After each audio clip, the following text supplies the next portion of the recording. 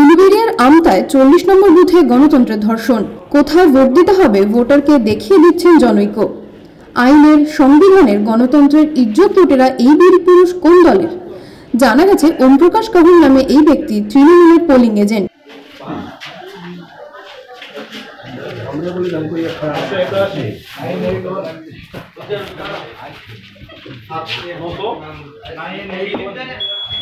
এই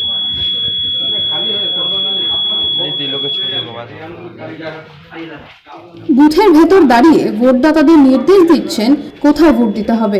রাজ্য জুড়ে তৃণমূলের এই স্বৈরাচারী শাসন আর কতদিন চলবে সেটাই এখন দেখার বিষয়।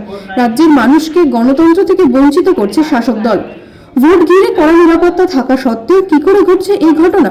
প্রশ্নের মুখে রাজ্যের শাসক দল। চ্যানেল হিন্দুস্তান